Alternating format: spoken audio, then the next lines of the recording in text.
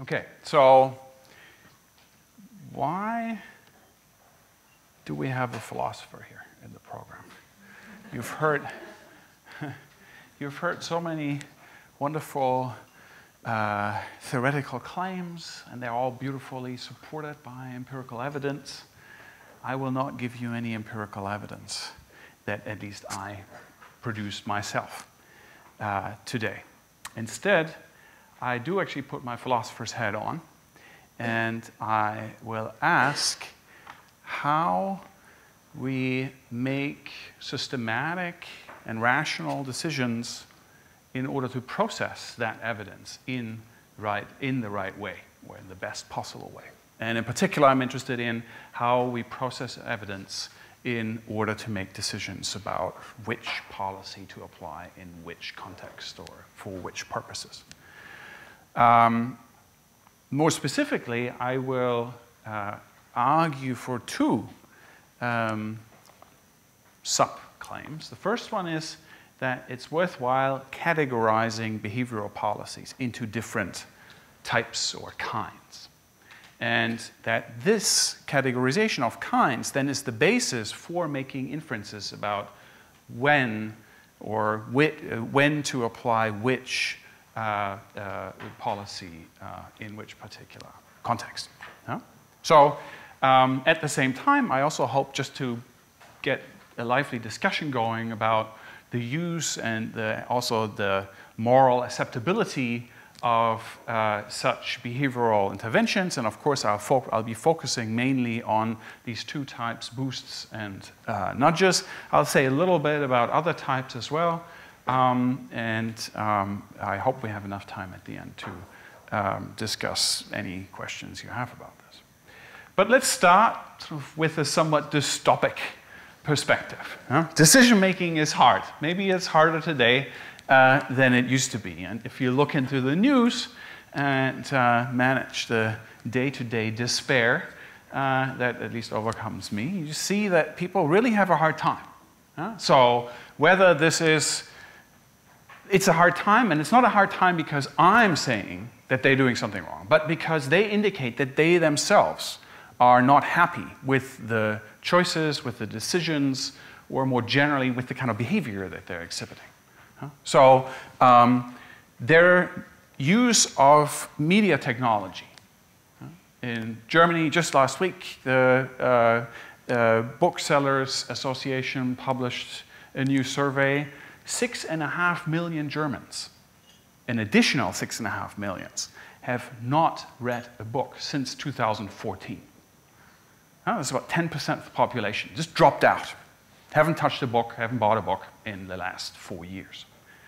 Now people go there and ask, what's going on? Why, why are you not reading? And they complain. They say, you know, I'm, I'm overwhelmed. Constantly people send me messages, emails, uh, whatever. I need to update my status. I need to sort of, I, I can't, I just don't have the energy to, sort of the time uh, to uh, read a book.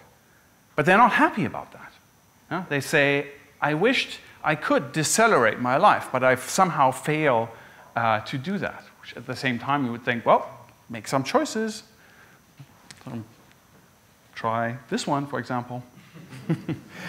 huh? So that's uh, that, but it seems difficult. Similarly, um, financial distress. There's a new study that shows that uh, uh, bankruptcy goes up in the immediate neighborhoods of, of neighborhood of those people uh, who win in the lottery. Huh? So you, it's really dangerous to be next to people who win in the lottery because you're likely to actually spend more money on conspicuous consumption and therefore you're more likely to go bust. Now, these people obviously don't want to go bust. They just want to show off that they can keep up with the Joneses, and that, is, that has a bad effect. Fake news, well, we have a president who clearly holds the record in uh, having uh, uh, uh, his claims being debunked as either incorrect, incorrectness or, or pure falsities. And yet, if you look at the, um, at, uh, the approval rating, it, that doesn't move at all. So it seems that, in fact, seems to his supporters seem to think that his claims and him being, uh, I, or his claims being identified as lies doesn't in some way uh, take away from his credibility or from their approval uh, for uh, him. And so we can go on. We can talk about uh, giving or receiving information from experts and the difficulties with that. We can go into the more regular uh, stuff that has been uh, uh, discussed a lot substance abuse, obesity, failure to eat a healthy diet, and so on. All these cases, we have people who say, I wish I would do it differently, but somehow I failed to do so. Um, and therefore, the government, the policymaker, both the government policymaker, but also NGOs or companies are uh, quite interested in somehow helping people along. This is nothing new. The 20th century actually has seen a lot of proposals of this sort. One of the earlier ones, which is actually quite interesting, is uh, this book by uh, Skinner, the psychologist, behaviorist uh, Skinner.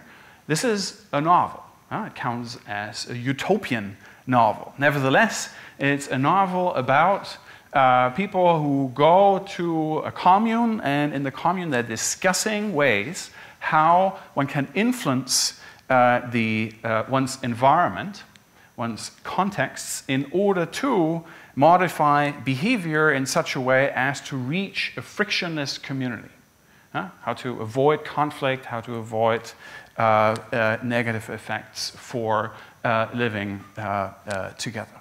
And uh, this was published in uh, 1948, but you see sort of in the 60s and the 70s, uh, sort of a, quite a lot of, under different titles, whether this is behavioral engineering, behavior modification, behavior management, applied behavior analysis, you see a lot of attempts at sort of trying to figure out how based on proper scientific evidence, we might be able to adjust people's uh, behavior in uh, beneficial ways. And of course, then uh, the 2008 book by Sunstein and Thaler gave this a whole new uh, wave of um, uh, prominence, and therefore most people today, when they're talking about behavioral policy, they talk about nudges, as if that's the same. Huh? Um, I will come back to that and I'll argue that that's not the case, but let's take a step back and think about so, what are the assumptions underlying here? All of these attempts of the policymaker going in and helping uh, uh, individuals. In the first place, there's the assumption uh, that the policymaker is benevolent. Uh, so the policymaker has uh, the interest of, has an interest in the welfare, uh, the autonomy, the equality, whatever sort of relevant features of either its citizens or its employees or sort of its stakeholders, whatever this might be. Right? And of course, we can question that, and I think there should be, should be much more um, uh, sort of um, uh, uh, public choice um, discussion of these behavioral um, interventions than there currently are. But that's not going to be my focus today. Instead, I want to focus on the second part, which is that these, uh, all of these attempts assume that we can muster evidence, scientific evidence for uh, this purpose, for behavioral modification, for changing behavior uh, to the better. And then two questions come, out, come up in particular. Uh, so you have either an individual, a specific particular policy, an intervention that someone proposes to you, or you have a whole set of uh, interventions that you might, might be contemplating. And then the question is, well, I want to apply this in this particular environment for this population and for this particular purpose. So which one is the best? Which is the most effective one? What, what gives me what I want to achieve? Uh, what gives it to me in uh, maybe the cheapest way, in the simplest way, maybe in uh, gives the biggest, has the biggest uh, effect size and so on. No, so that's the first question. The second one is um, which of these interventions, and again, in this particular environment, for this particular population, and so on, is morally permissible? We can expand this and say political permissible, also, of course, questions of legal uh, permissibility, but I think it's, it's enough for our purposes here to ask for uh, moral permissibility. And that leads immediately to an epistemic problem. We're asking for token, for particular the evaluation of particular policy interventions. And presumably, in almost all these cases, we haven't, haven't run that policy in that context yet, because that's the point, right? I'm a policymaker. I want to change something. I haven't done so yet. But I need to know, I need to know in advance in order to compare where, how this policy does in this particular context for this, for this uh, uh, population. Yes? Any question regarding number two? Why would the answer that number two be only available post, the more I will, um, well, for, beca because I will argue that it will depend on the way how, through which causal pathways uh, the, uh, the policy operates. Yeah? So we need to know properties of, well, we, I think we can answer this even more generally, but that will be my argument.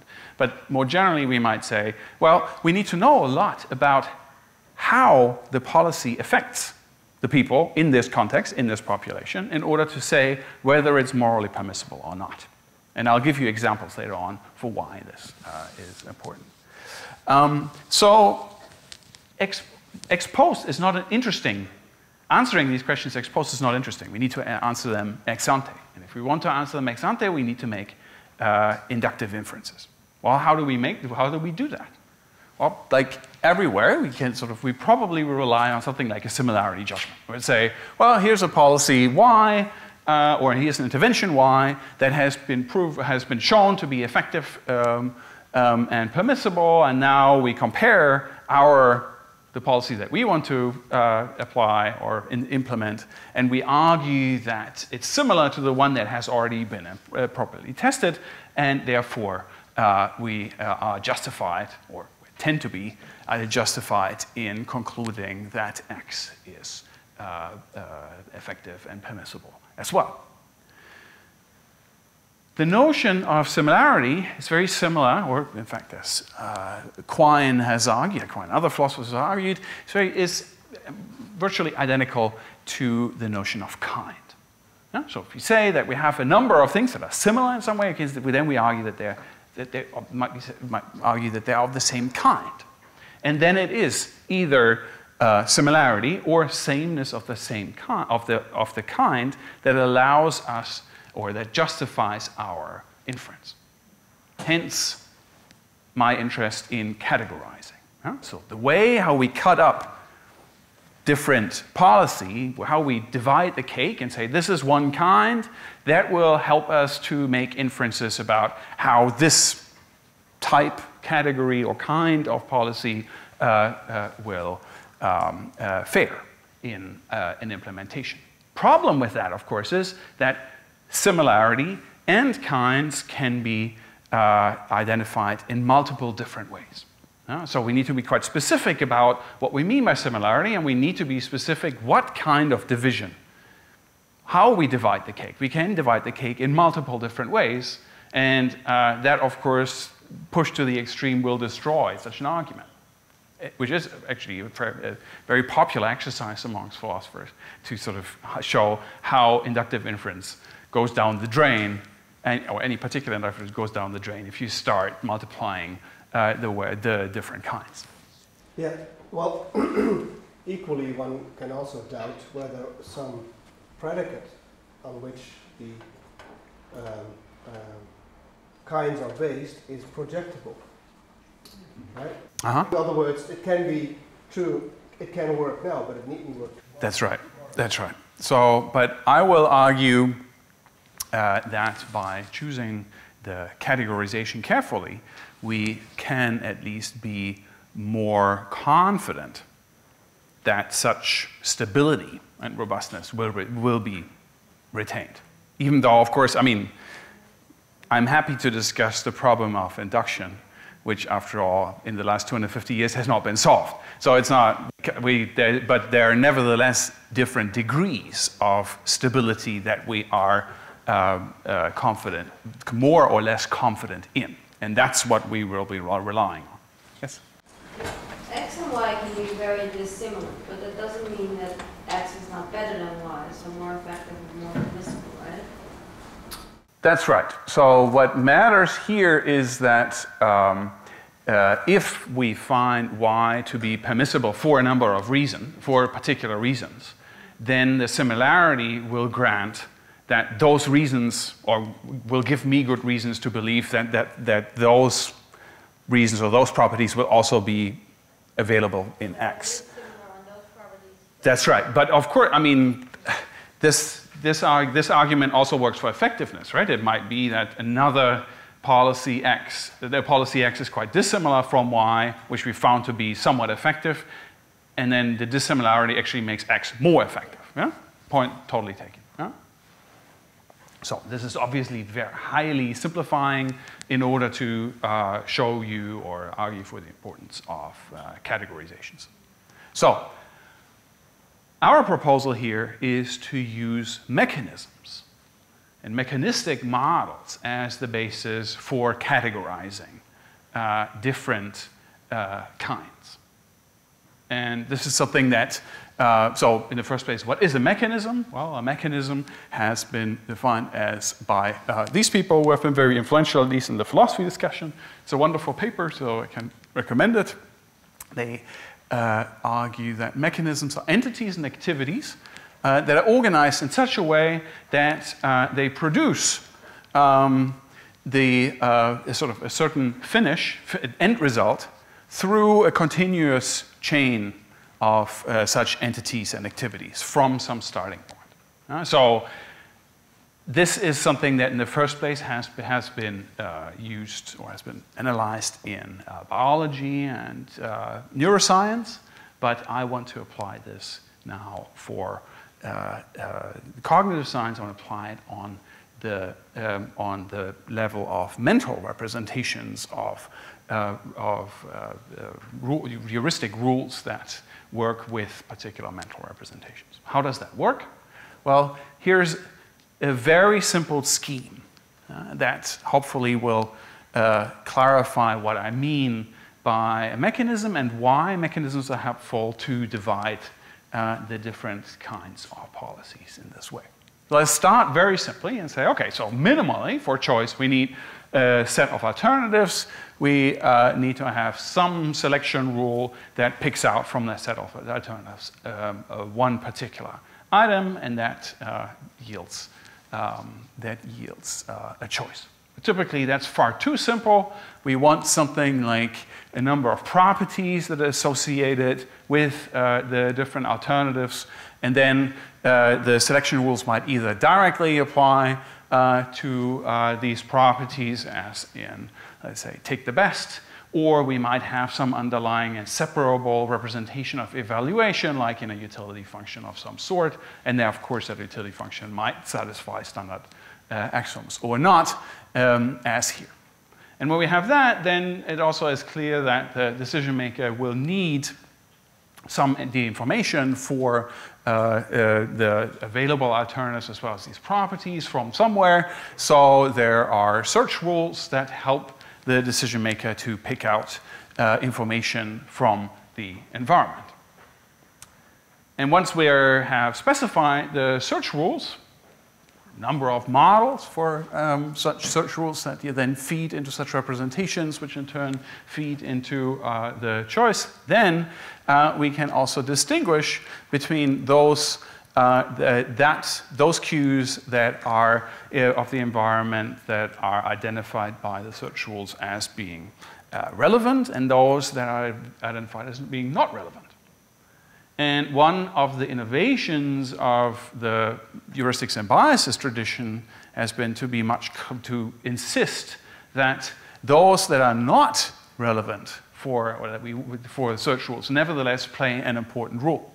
So there's context in the environment, cues that are not picked up as information by uh, the decision maker, but nevertheless influence the search rules, influence the selection rules, and the evaluations. So uh, think of uh, the, uh, for example, setting um, the um, uh, reference point as a way of, in, of, of typically implicitly um, a, a, reference point that influences an evaluation. Think of anchoring as a way that influences search rules, and uh, think of um, whatever was the example I had for, well, and there are also context, contextual cues that influence uh, the selection rules directly.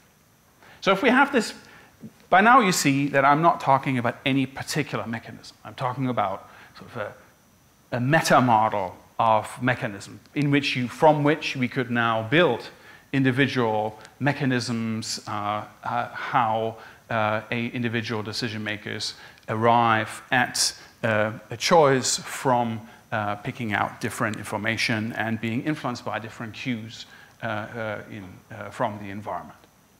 Based on this, we can now distinguish at least four kinds of intervention possibilities. Uh, namely where they influence and what kind of uh, influence they will have on decision making.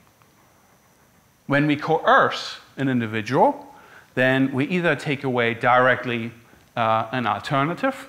so if there is no cocaine, then you can't choose it. Or uh, if we, uh, we just change some of the properties, as when we uh, make gambling illegal, then if you choose to gamble, one of the options might involve, or some of the options might involve, uh, going to prison um, or paying a fine.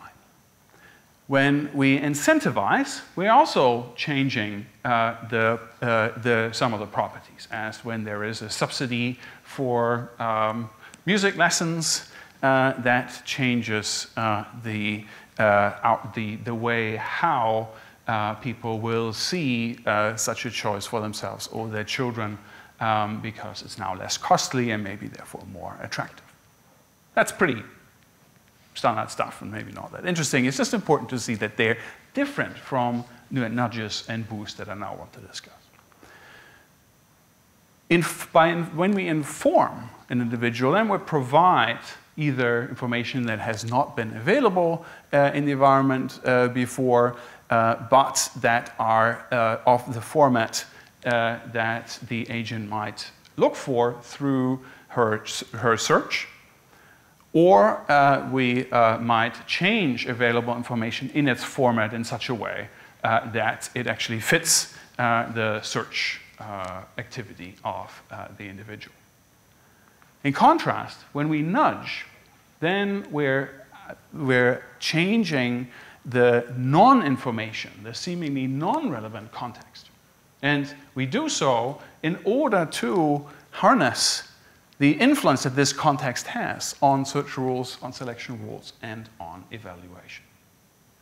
This, of course, requires that we, if we want to have a predictable change in behavior, that uh, we uh, keep, that we assume that these uh, selection, these different influences on these different rules remain stable, even though we're now changing the context. I'll come back to that um, in a moment. Now, contrast that with boosts. Boosts don't intervene in uh, that non-information relevant context, but rather they intervene in the rules themselves. They try to train people in uh, heuristics, in rules, either for search or for evaluation or for uh, selection for, for making decisions um, that either they didn't have, that these people didn't have access to, or that they had access to but didn't, weren't applying in this particular context uh, that the policymaker suggests is of relevance for them. So this now dovetails with our uh, with uh, our distinction in the various papers, where we say the nudges strategically harness bounded rationality. They make use of the knowledge that the various contextual cues influence how uh, the heuristics operate in, as part of the decision-making uh, mechanism. Yeah? And uh, by influencing uh, this context, uh, they then influence how information is searched and what alternative is selected. In contrast, a boost aims to directly change some of the applied heuristics. I, I mean, some, sometimes, sometimes people object because it fosters competences. I should maybe try to find something else because it is maybe not neutral enough. I don't, this can, of course, go wrong, right? You're replacing someone's using a particular search rule for a particular problem, and you're suggesting that, you, that she use a different search rule instead. That might actually make things worse if you're not careful, and for reasons that might even be unforeseen. Huh? Um, but it aims to, uh, it, it, it, obviously aims to improve uh, competences, even if uh, that might occasionally fail, by intervening on these rules and uh, therefore trains the decision maker uh, to employ a different heuristic that hopefully is more adaptive uh, than the previous one. Okay, so talk for half an hour, that's enough for the moment. Let's uh, do a little exercise. I've prepared a number of cases. Some of them I just plucked from the news. Others um, I either invented myself or uh, uh, from and uh, from the literature, if you could sort of do, divide, so just take one of these leaflets in such a way that you're always in groups of three or four. And then uh, in those groups, discuss uh, in these, these three questions. Okay, are we... Um, is everybody happy to continue? Are we sort of, are we there? Because, are you? Good. Okay, then let's, uh, I will now, let's go through the individual cases. Yeah, and I would ask the, I would ask the respective groups who have discussed that case to uh, describe briefly what's going on and why they, or what they think is going on. And sometimes at least we have multiple groups. I think there was a bit of a mess up with, uh, with uh, some of the distribution, but that should be okay. Huh? So we'll go through all the cases, and then everybody can actually listen a little bit about what else was in the discussion. Okay, so the first one uh, was speeding. Who had speeding? Uh, only one. Okay, good. Yeah, if you want to, what would you uh, like to tell us a little bit about what was going on here? What do you think? What what what is the uh, um, where, does the, where does the policy intervene and what, how, what kind of me mechanistic uh, process is involved? Right, so we think this is pretty much a nudge and um, it, it intervenes at the context. So, mm -hmm. and the causal pathway would be basically, so we're kind of confused with the causal pathway, but we are inclined towards like it affecting the selection rule. Mm-hmm.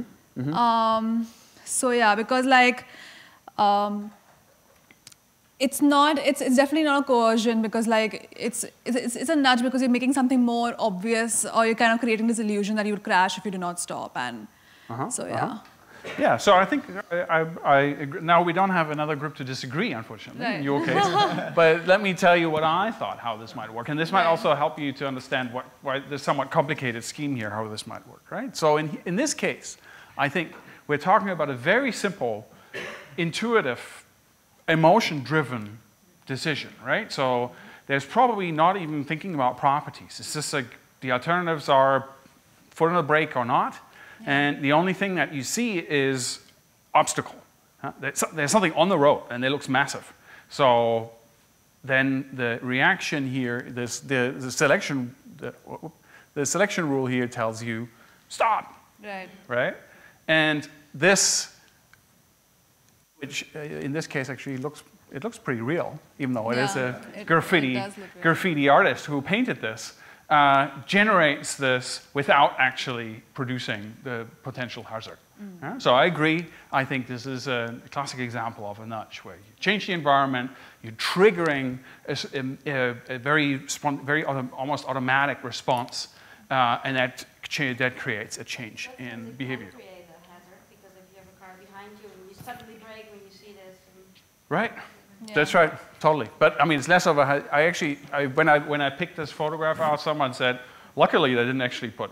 I mean, so I would it wouldn't have been beyond them to put real concrete slabs up there. So this is sort of expresses how what people think about communal uh, services in yeah. uh, provincial Germany. yes. Hi. Um, so my initial inclination was to agree fully that it's a nudge, but that makes me uh, want to ask you a question about information because as I was considering your schematic on the previous slide, And thinking about the information search process while one's driving down the road, it's basically continuously scanning the environment for any environmental cues that might uh, alter your current strategy of driving. Right. And so in that case, seeing an obstacle on the road is, is clearly informative. Uh huh. Uh. And in this case, it's a false illusion. So it's, Mm-hmm. but it's, it's still somehow information as far as your, your, your decision-making system is concerned. So uh, Yeah. it, it somehow blurs the line between uh, context Good. and information. Yeah, So what do you have to say about that? Yeah. Okay, interesting. Uh, because what you're then saying is that this could be a, it's not in the, if we inc- incorporate in information policies also disinformation policies, then this would, could be counted as something like uh, telling people in the newspaper that something terrible is going to befall them if they drive through that road faster than 30 kilometers an hour or something, right? So we're, we're working on maybe on, with some superstition or, I mean, this could be, we can, we can spin, a, spin that story further. I don't actually, I mean, this, I'm not saying it's either one, right? I'm, what I'm offering here is more like an analytic framework that allows us to further investigate what is going on. So in many of these cases, I think that I've given you, there is some ambiguity here that ultimately requires uh, further empirical uh, investigation. And I think that's, this might be relevant because whether we consider this a, a sort of a misinformation campaign or a nudge campaign might have, uh, uh, for example, effects on how we morally assess this. So the point here is not to now say once and for all, this is this particular policy. And one of the issues is that currently we're not looking a whole lot into the mechanisms of different, uh, of different behavioral uh, results. With typically, when we, I mean, behavioral economics is largely based on, labor- on laboratory findings, and all they record are effect sizes, right? So intervention, behavior changes to this degree. And how this happens is often entirely ambiguous. Okay, let's move on. Choosing treatments. Yeah, so here, uh, who had that? There was one over here, yes? Yeah? And it, but there's another, you're a separate group, or did you all work together? Okay, great. Okay, so one mic for the You can start. All right. Uh, so this involved a program that trains people to translate relative risk into natural formats and vice versa. Uh, we thought the policy intervened on the selection uh, evaluation aspect or rule. Uh, and so, yeah, it was, we thought it was a boost. Okay, thank you. Yeah, we agree. Um, maybe it's an extension because we're both neuroscientists. So we wondered if there are some feedback loops in the model. Hmm? So based on this, so so what is downstream affected is only the link between the evaluation and the actual choice in the end. We thought, but maybe also people get more interested in what kind of information is more about it. Like if they become, for example, more skeptical, that might also have a feedback loop on the search rule. Mm-hmm. Mm-hmm. Mm-hmm. So that they're not so easily accepting information, but they become more critical and then they go back in the model actually. And there is, of course, uh, it's, not a, it's not a pure translation. Right? I marked this somewhere uh, that they, so they need to also, when they translate into natural frequency formats, they need to ask for base rate information. The information isn't immediately available, so you can't just translate. You have to say, wait a moment. Okay, so who taught me about this? Relative risk. Now tell me what is the base rate. Only then can I formulate uh, the natural frequency, right? So that's a, in this way, that already is, I, I but I entirely agree. This has, but I would also say that uh, we are here uh, intervening on either only uh, the selection or uh, also, or both the selection and the search rule. Um, and in fact, Ralph and I have used this as an example of, or one of the examples of a boost. In contrast to, for example, simply changing the format, simply saying, okay, everything that is in relative risk is now going to be translated into frequency. That would be a change in uh, the context. huh? So, and that would be, I mean, arguably, that would be a nudge instead. Okay. Energy provider choice. Who had that? You too? Yeah? And yes? Good. You want to start? Um, yeah, um, there was um, a company, I think it was in Zurich, right? Yeah. Yeah. That's right. And um, I think first, um, not many households were um, getting their energy from, I think, a more sustainable source. And then um, the city of Zurich wrote um, a letter that um, from the 1st October on, the default option would be um, to use ecological, more sustainable energy. And that resulted in, in yeah, way more um, people um, choosing the ecological. Uh, they could, they could of course, uh, say that they didn't want that, but they had to do something to prevent getting a sustainable power. So, and then um, it ended up many more people um, having sustainable um, energy, and um, we actually we had like an argument of what what it would be. Excellent. um, um, yeah, Kim was more saying that this was coercive, arguing that it changed actually properties um, of the option to take um, the less sustainable power uh-huh, okay. in, in ways of having um, to put in time and that could Mm-hmm. be counted as a property. Maybe also be an incentive for the more sustainable um, option because Yeah, then yeah. it's less time consuming. I was more on the nudging part because actually the default option shouldn't change Mm-hmm. what you want. But I think, yeah, maybe it's interesting what the other group has to say. Thank you. What did you think? Okay, so um, we decided to label this a nudge um, because normally, as I understand it, defaults are considered nudges, and the whole um, debate about nu- uh, defaults then being coercive is a whole nother story because if you look at empirical data, it often is coercive because a lot of people don't opt out, but from a more logical perspective or philosophical perspective, I'd say it's not coercive because you still have um, the the opportunity to opt out, and also the the costs are negligible uh, in comparison to the weight of the decision.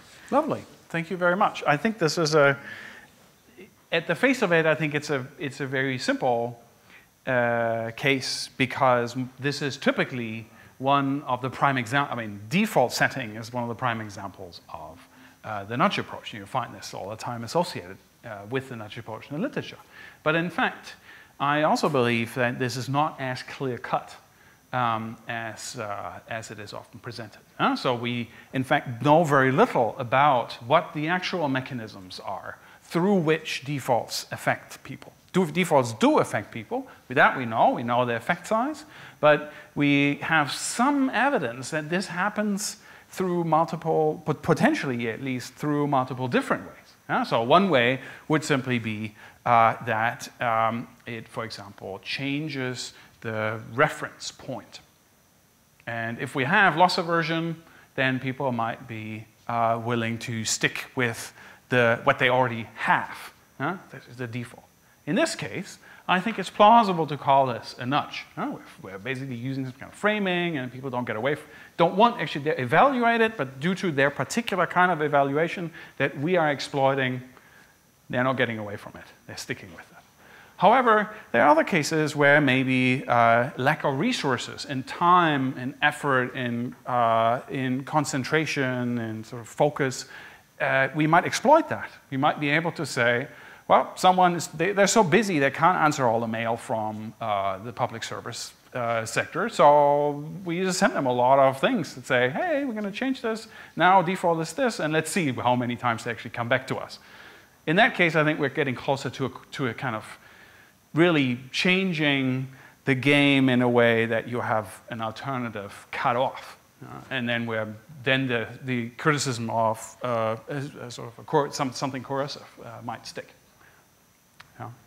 And, um, but I'm not saying that, the, that all defaults are coercive. I'm just saying that, well, depending with the, the kind of mechanism, we might actually uh, get different results. You disagree with that? So uh, I think earlier you said that coercion was restricting the choice set. Right. That's one. But remember that coercion has, I included because in the most extreme sense, we are actually taking away an option. But typically, when I, for example, when, we, when Parliament passes a law that says we're going to now make this an offense or a crime, then they're not really taking the option away. They're just changing the property of, if you do it, you can do it, but you, that, it comes with a cost. So it's incentivizing. It's a it, exact. So there's a there's a sliding towards incentivizing. Um, if we want to, I think otherwise we don't we almost have no coercive policies if we uh, if we don't include that. A default with an opt-out, by definition, cannot be coercive because -huh. there's always the opportunity to opt out. That's right. Perform, but it might be performa, right? So I might make it so difficult for you that you actually that for, I might say, Here, this, here's the option, but you actually have to jump five meters high from standing in order to do it. For pro forma, the option is, the, is the, to opt out is still there, right? So, and this is, the question is whether we can, through, we is create situations where people actually are almost, where it's very hard for them to opt.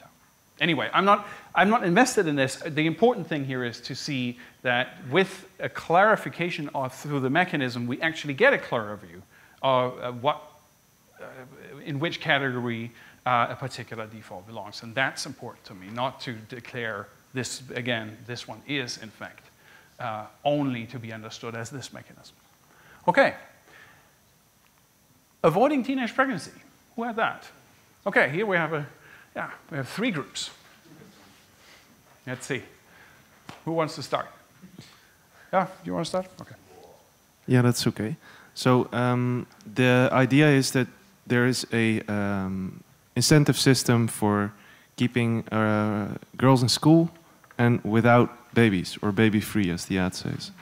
So um, they get they go into a program. They do some. They do weekly meetings and they receive uh, a, a dollar amount every week. They do not get pregnant. So the the meetings are about uh, abstinence and the use of contraceptives. Uh, I didn't make this one up. No. no. And so um, they will only get the amount once they enroll in college, and there are some screening criteria. So girls must never, must have never been pregnant, be enrolled in school, uh, have a desire to attend college, and uh, have a sister who gave birth before 18. Right. So they're in a high-risk group, right? That's so uh, we thought that this was, well, we had some discussion, but we thought this was both informing, informing about the uh, abstinence and the use of con contraceptives, uh -huh. and an uh, and a in incentivization mm -hmm. by changing the properties of the choice set of these girls, right. making uh, the option of not getting pregnant more attractive. Uh -huh. Okay. Yeah. So that would be our answer. And and, um, and yeah, good. Yes? Hi. Uh, so we had the similar discussion where we understood as well that there was a lot of incentivizing and informing involved, but we actually ended up thinking that this could qualify as a hybrid with its highest probabilities nudging more than anything else. Um, we thought that basically because they are not only trying to inform these people and these girls and incentivize them, uh, since we're talking about 90 um, minutes meetings every week, and that involves girls that could be as young as 12 years old. So we're taking, talking about 52 weeks for six years. I think the, the content of the information would have elapsed long ago for them. I think it's more about building a culture that would help them stick with that information and would incentivize them to, to basically go through it up until they arrive to age 18. So I would consider it as a very, very hard form of nudging. Okay, thank you. Thank you. And there was a third group, yes.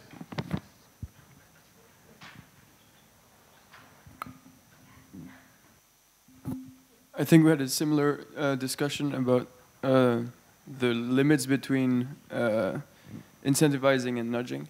There was one thing that wasn't really clear to me. It's what's the difference between changing the context and changing the properties of the options? So in uh, the in changing the context, for example, sort of the way typically a default set, a default setting is described, you would say there is no relevant property that is changed if we just set one as uh, the, the default. Uh, the, the, the, the, alternatives remain the same. They retain all the different, alter the different properties, but we're setting something that seems to be ancillary on top. It should be a rational decision maker should not care about whether this is the default, as you can freely deviate from the default. And yet, we find that people, that has a strong influence. Yeah, so that would be a difference between, it was something that people wouldn't search out. I wouldn't say, oh, in order to make a choice, I will have to know whether this is the default or not.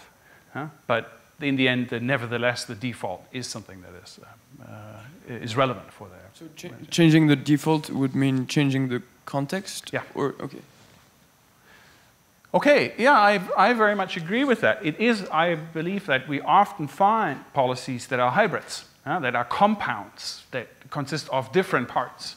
Uh, in this case, I would, I, I, very much like the, uh, the culture building as, a, as, a, as, the, as part of the analysis. I would also stress that it would perfect, if it was only incentivizing, it shouldn't matter whether they get a dollar a day or whether they get uh, the, let's say, $365 at the end of each year, or even get the whole lump sum at the end when they enter college.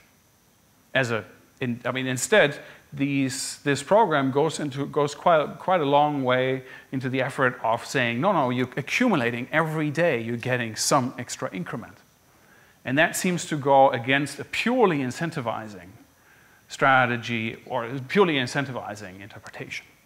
Uh, in addition to, uh, anyway, they, they have, they, they do inform, they might also actually, and, and they do uh, generate um, some culture of, uh, that might consist of social peer pressures of some sort. Yes? But that would go beyond the initial definition of nudging. I think uh, they're fair, uh, the authors are fairly explicit about that an incentive that that uh, changing prices or paying people no. money is not nudging. That's right. So it would be, in this case, you would have to sort of see that there is that the way how there is incentivization happening, but the way how the incentivization is provided clearly takes into account that there are ways how we can incentivize more or less. And that seems to go beyond the mere monetary value of what you're offering.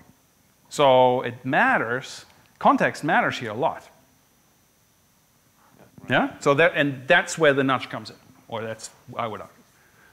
I have no, I, you might, yeah, I think I saw you from, there were, oh, it doesn't matter, okay, we'll have time. Uh, hi, I just want to agree with uh, Stefan. I, I don't think any choice architecture is happening here um, and, uh, which would qualify it as nudging. So all we're doing is incentivizing a certain type of behavior, which we think is. What, are you saying it would make no difference that we actually sort of multiply? I mean, we'd give them the lump sum at the end. We just say, so at the end you'll get something like uh, two thousand dollars or three thousand dollars. No, in no uh, I'm not saying that doesn't Ah. matter. All I'm saying is that I don't think there's uh, a rearrangement or uh, architecture of options happening in order to qualify this as a nudge. Um, going back to your own framework, I, um I think it's a clear example of incentivization. Uh, but of course, there are different ways of incentivizing. Some of them are more effective than others. So this is a gradual. Yeah, but the, but the, Yeah. the incent- I mean, if we're looking at the monetary value, there's no difference whether you accumulate it day after day or whether you get it a lump sum at the end, right? So, sorry? We're comparing program to no program and not incentivization structure one to incentivization structure two, so I get what he's saying. Uh, I'm not because I could. I could. but What these people could say, if you're not, if you're not pregnant by the time you're entering college, we give you three thousand dollars. Right? That would be the same. Or and you can. You, I guess I guess my point is, uh, if you argue this is a nudge, can you show us where is the choice architecture? So wh- how is where is the arrangement of choices? So The- The arrangement now is that there's a there's a con- there's a f- there's a this is now conceptualized as a day-to-day decision with an immediate feedback of here you get your incentive of one dollar every day instead of making it a choice that is ba- that is basically conceived as a five years of uh, remaining uh, not or not being not becoming pregnant. But by that logic, any incentive is a nudge because you have to pay out in some way. Um, excuse me, I have a very mm, concrete example in my head which made me say that this is nudging. If it was only about them not getting pregnant, they could have easily said whoever wants to sign up for having uh, free patches, contraceptives, it would even be cheaper for them to implement a policy where whatever girl thought that it's good for them to have an implant that would make them avoid pregnancy, and in terms of money, it would be much cheaper for the program. Here, they're making it conditional for them entering college. And I'm pretty much guessing if you started at 12 and at 17 or 18, some days before you finished high school and you're about to enter college, you got pregnant, what happens to your fund? You're not accessing it. More than that, you're going to be, again, I repeat, 52 weeks per year, one hour and a half, sitting in a group where there is a community building with a culture of let's stick it together, let's not get pregnant, let's enter college. That's I- not simple I- incentivization. I, I very much enjoy this. We still have two cases to go, and I still have my, the second part of my talk to give. So, can we continue this at the barbecue for those who are interested with respect to this particular application? Because I think it's very interesting. I do not, I'm, maybe you can convince me otherwise, but I don't think that my argument depends on whether we decide whether this is a hybrid or whether this is a sort of, whether there's a nudge component to it or not. Okay? Can we put it this way? Let's go on to the HIV prevention. Who had that? Uh-huh, and you too. Yeah. You want to start? Sure. So this is a similar program, in, except that they're trying to reduce HIV rates, um, and that they are. It's essentially an abstinence-only program. So they're encouraging through education that people only abstain from having sex, or if they have sex, that they go back to abstaining from having sex. Um, we're, I'm, I'm actively not commenting on that. Um, so um, it also and teaches people how to avoid social peer pressure and um, sexual advances. So we had a lot of debate that was, I think, a little bit similar to the debate we just had in here. Um, we think that this policy intervention operates through multiple um, areas, including the environment. Um, it's coercive in that it's limiting the number of options that people have. It's um, changing the amount of information that they have. Um, and it could be even considered a boost if you take into the, the account the part where they rehearse, rehearse how they'll respond in certain situations. Uh-huh. Thank you. There's a group up here that also. Yeah. Um, we also had a mix of stuff there, but we didn't really put coerce, coercion in there because the options are still all there. Um, I mean, they can still decide to have sex or not. Uh, they're just sort of encourage. Um, so we had information in there, um, and we had boost in there. Did we? Yeah, we did. Because they, they, um, there's a sentence where they explicitly say so encourages both primary abstinence and secondary abstinence. So when the options are there and you have all the information, um, they try to sort of push decisions towards the well one direction. Um, so there's a boost in the selection, action selection, or um, part Okay. of it. Yeah, Yeah. Thank you. So um, I think that uh, uh, I agree that there's a, it's, I find it in, an interesting and complex case because, for one thing, uh, this is about education of children, and uh, it seems the info, if we can talk about information campaign, then it's about withholding information. Uh, so it's, sort of, it's basically saying, we're not telling you about safe sex methods.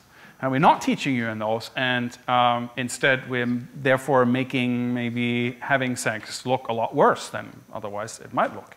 Huh? Um, however, I, I do agree with the group in the back that this part here seems to be uh, a boost.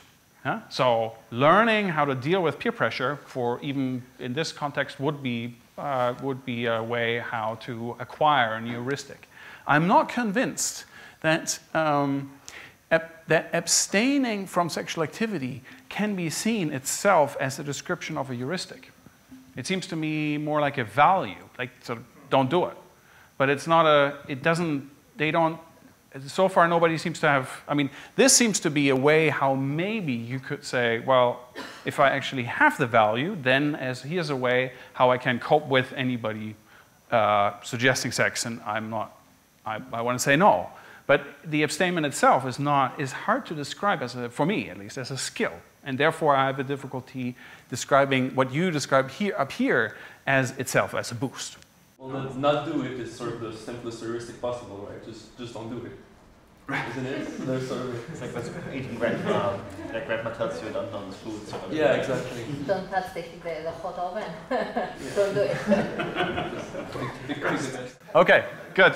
So, complicated case, but I, I, I, interesting to what extent. I, would insist that by boosting, we mean that we actually give people some competence how to uh, uh, progress on such a decision. And this seems to be largely just, as you say, don't do it. Okay, last one. Helping harassment victim, victims. Who had that? Group up here? Uh, only one or? Okay, yeah. Okay. So tell us. No, go right ahead. right. Um, after some discussion, we came up with, uh, we, we decided that overall this is a boost and it's at the selection, pro selection mm -hmm. point. Mm -hmm. um, but after sitting here and some thought, I was also thinking uh, that the first, the first picture is actually somewhat coercive in the phrase, and this is my belief, uh, that the what to do, that you have an, just saying that, that you have an obligation to do this, uh, it, I, I feel that that is somewhat co coercive in just in the verbiage. So you uh, mean, uh, maybe not coercive, it doesn't prevent you from doing other things, but maybe it sort of suggests quite strongly that this is the way that, to go, and it sort of, it, that it's wrong. It stacks the cards in a certain way. It's that it's somewhat wrong if you don't -huh. go, mm -hmm. go down this yeah, path. Yeah. Um, okay. But but the but the secondary part, I certain like I think we all agree that Yeah. that is a, a boost. So for those who didn't see this, this is something that was put up uh, in Boston and public transport, uh, uh, in public transport and also public transport stops. And it suggests a way how one can, uh, how one can mitigate, how, how one can mediate or sort of help in situations of very high aggression uh, harassment. uh, where lots of people maybe also legitimately say, I don't want to get involved because I might well become the target myself, so I'd rather stay out. And here is a, here is a way how to basically ignore the aggressor, only focus on the victim, uh, and therefore create some kind of safe space for the victim at that moment. So it is, a, and I thought this was clearly a, a comp- something that, at least for me, was new. It seemed quite constructive as a way of, I, if I wanted to actually get involved, this was something I have now learned by that this might, this, this might work. It's worthwhile trying it out. Uh, and therefore, I thought it was clearly a case of a boost. I wanted also Yes? to add that we were also discussing as a second possibility, in addition to the boost, that since this is uh, posted publicly on buses, it changes also a little bit the environment on the Uh-huh. bus. Uh-huh.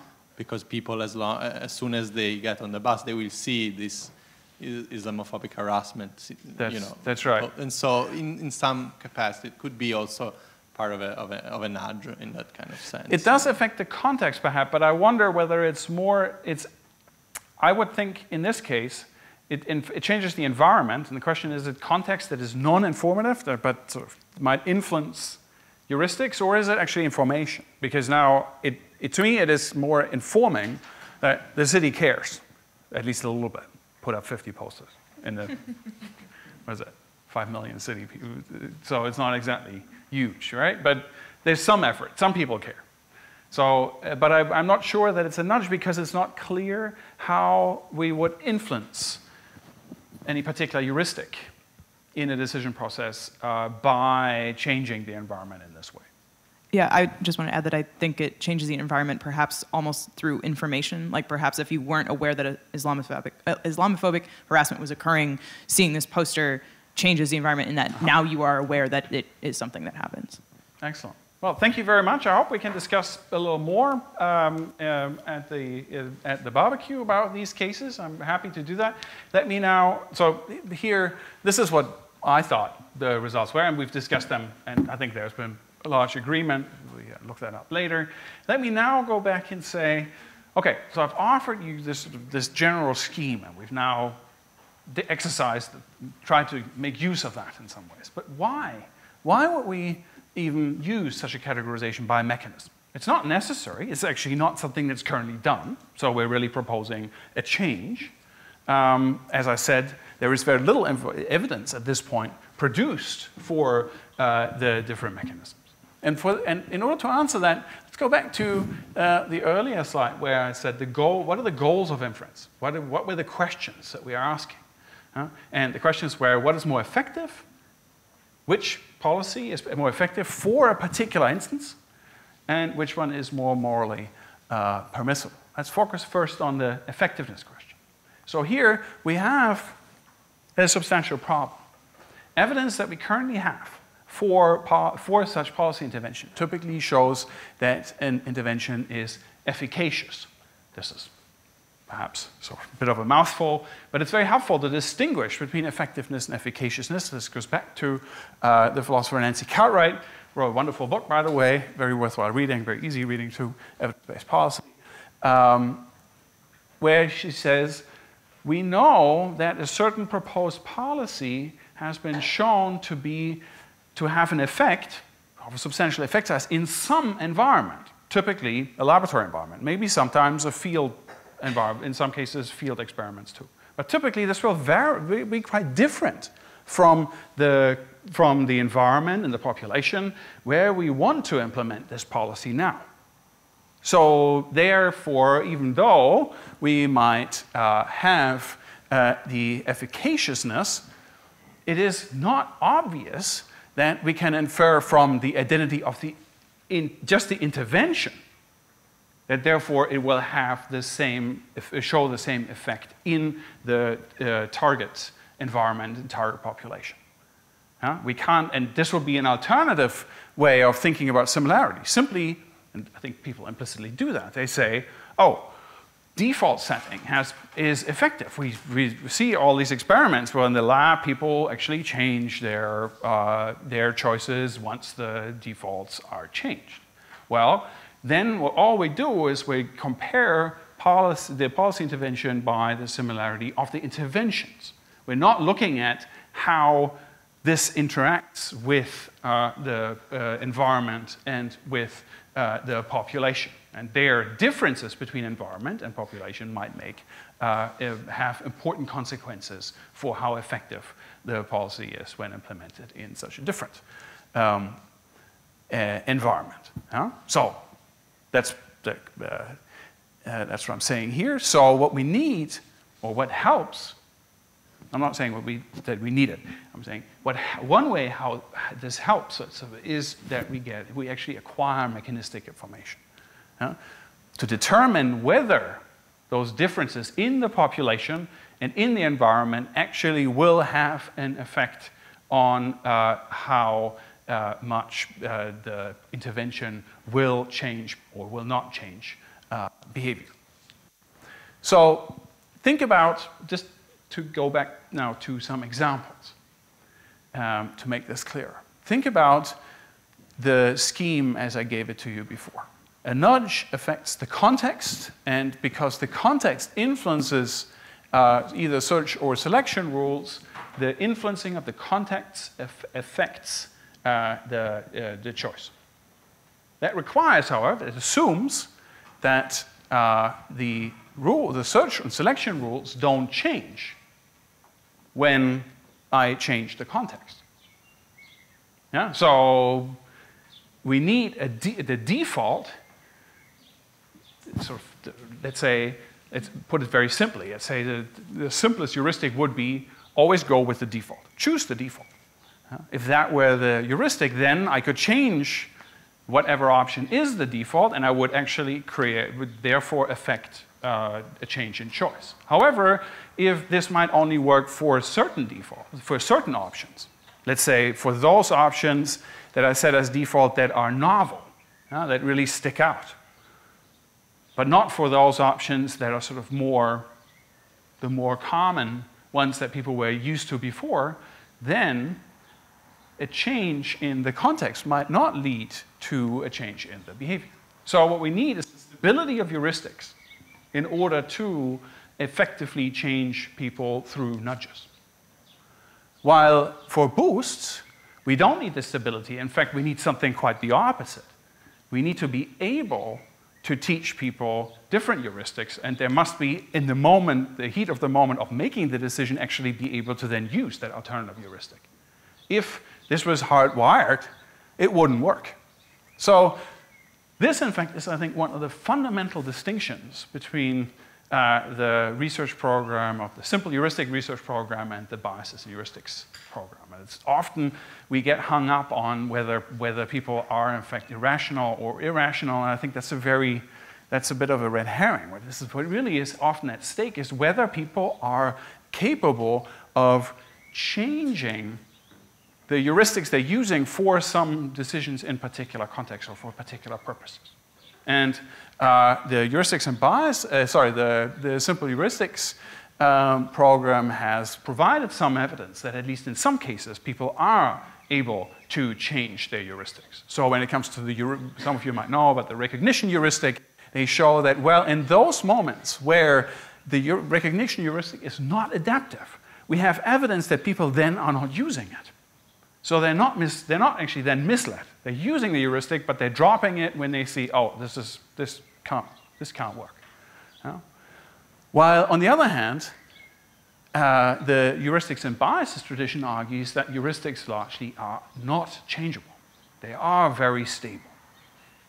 Unless you think that um, I have a lot of text on the left and very little on the right, here's an alt chestnut uh, to show that. Which of the lines is longer? Hmm? Same? How, how many of you think it's the same? Yeah, got you. right? You can't see this actually. You know about it, but you can't see it. Yeah. I didn't change it. It's the look, it's no, no, no. So the picture is exactly the same. So you can't see it actually. The, oh, oh, it's very right. but I think this is a good example, and it is not surprising that Kahneman Tversky early on talked about cognitive illusions, because the analogy to visual illusions, I think, is, is, is very convincing. Uh, if, you, if we're talking about the use of heuristics that are similar to, to visual illusions, boosts have, stand no chance. Uh, you can't boost this, as I just showed you. You all know about it, and you still don't see it. So, therefore, we don't boost airplane pilots when they're subject to these kinds of visual illusions when approaching a runway. We just change the cockpit in such a way that these visual illusions don't, don't occur because it's so damn hard to actually uh, avoid them. So here, there's, there's a lot of good reasons why sometimes we want to nudge. The point here is that neither of these programs is correct in saying that it's universal. It's, in some cases, it's malleable, in other cases, it's not. And we have to find out. And depending on, where, on which one it is, that's the kind of policy we should apply. And this is where the categorization uh, is very helpful. If we're able to say, here we have a, this is a boost, it, it requires the teachability of a heuristic, and you can show me that in the environment in which you want to implement your policy, something like this is happening, that's it. We shouldn't even go any further.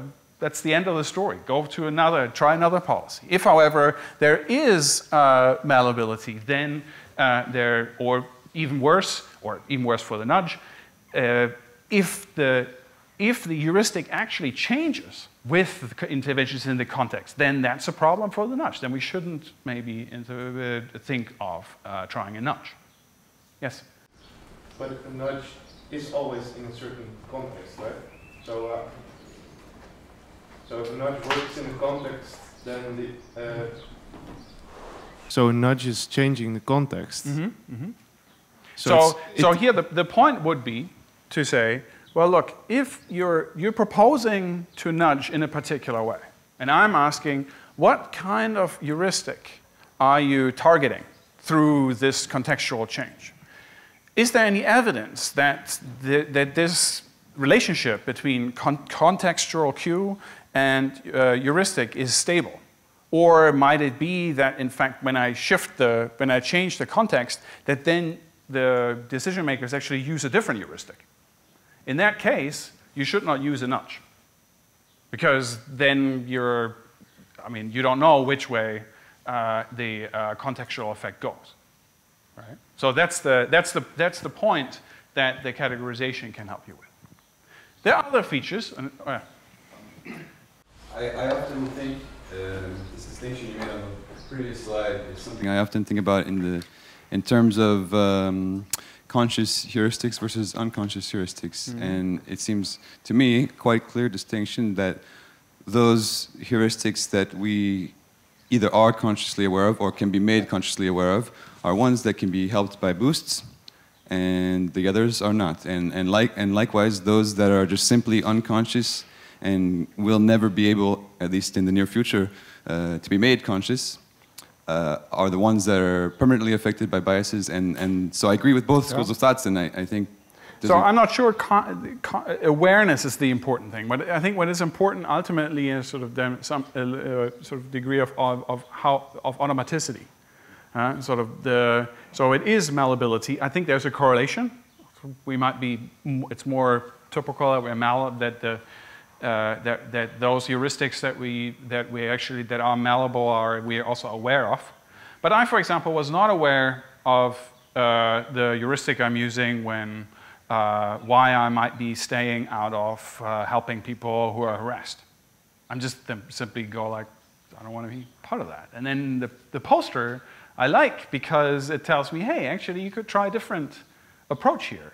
But that, that, it's only at that moment that I become aware. And as, as you said, it's not, I might not have been aware before. So by teaching you some an alternative, you become aware that in fact this is just one way how you could behave. There are different ways.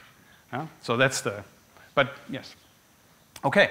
Um, other, other features, oh, we're almost done, um, if, that are also of interest are questions of, for example, homogeneity.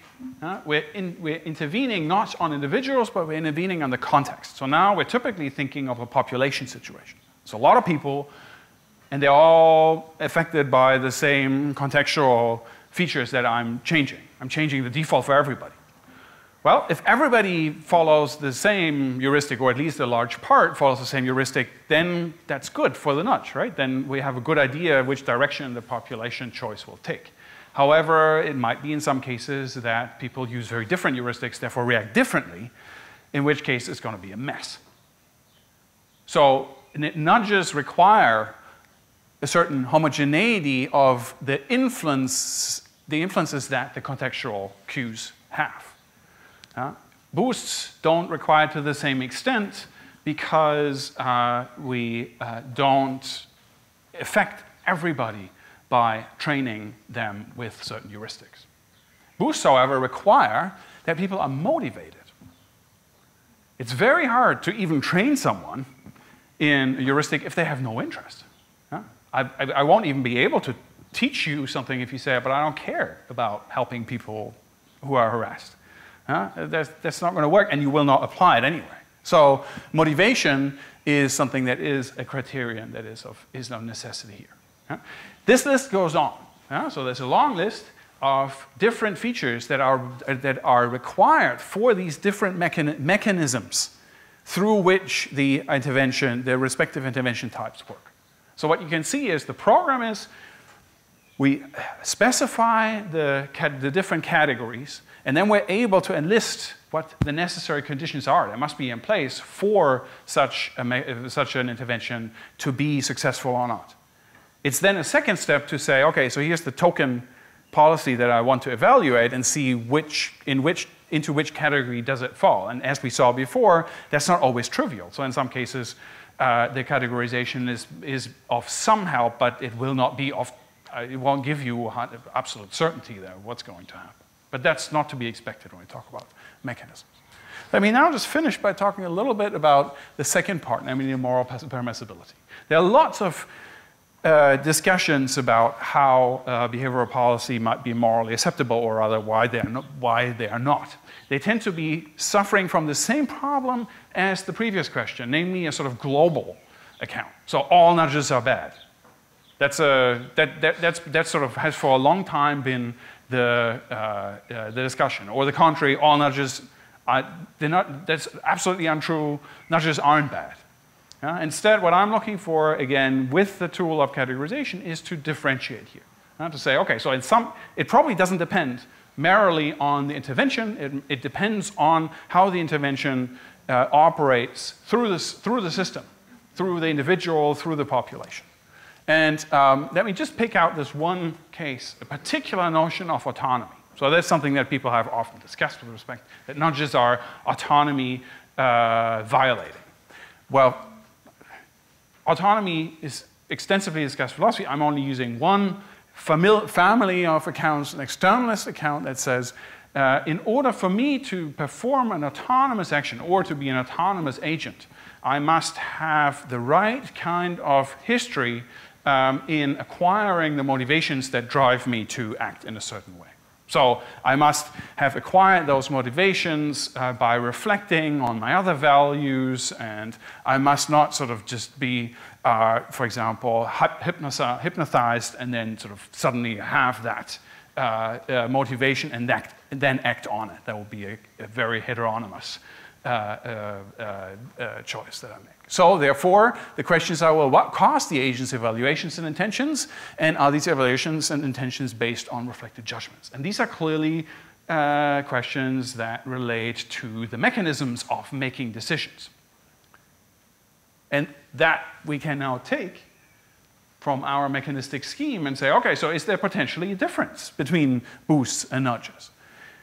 Uh, so you see, I'm, uh, I'm rushing through this a little bit, but in, the boost, as I said before, requires that people are motivated.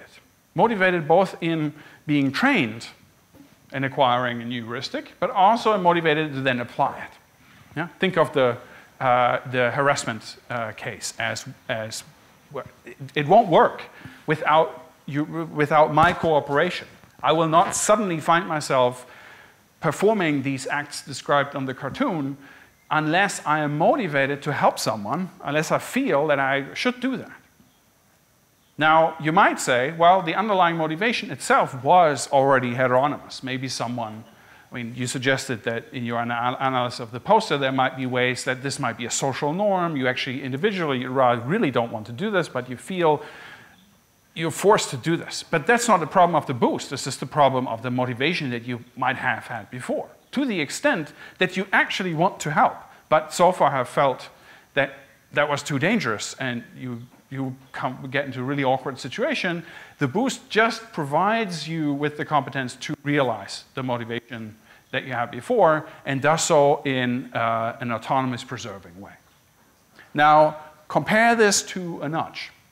In the nudge case, you don't necessarily need a strong motivation to acquire that cue and follow uh, the, uh, the, the, uh, the cue that comes from that context. To the contrary, you will often end up with de the default, the defaulted uh, option without you necessarily wanting it. In fact, there are studies about uh, default setting uh, policies in retirement. This is a sort of survey study, so one has to be a little bit careful maybe, but where people express strong regret that they were actually default, that they followed the default and they ended up with that, what was the default, even though they did, afterwards they said they didn't want this. Uh, so there is some indication that a nudge can, in some circumstances, completely circumvent uh, the, any, any motivational questions altogether. It just might make you do that. However, one has to also very clear, so, and therefore it might overrule even existing motivation. However, it's not always the case that there were strong existing motivations, or if they were existing motivations, that these motivations were heteronomous, uh, sorry, autonomous. And this is, I think, a point that Sunstein has already made uh, numerous times, saying, well, look, we are just a reaction. huh? We're nudging people because industry has been, uh, has been applying the same techniques for decades in, in order to get them to buy their, their useless products or products that they, people don't need. huh? And now we are trying to sort of to push against that. In which case, you can, of course, argue that such, such a nudge is not autonomy violating. It just it goes against the motivation. However, that motivation has been the product of uh, previous industry uh, manipulation in such a way that it doesn't deserve a defense from an autonomy perspective to stop. To do that, however, you need to, need to be very clear what motivations are actually affected, which motivations are potentially overruled or circumvented. And it's only through that that you will be able to determine whether, in a particular domain, a, dom- a nudge might violate autonomy or not. Okay, that was it. Um, here's just a summary, and if you're interested, here are some of the papers uh, from which I've drawn. Thank you very much.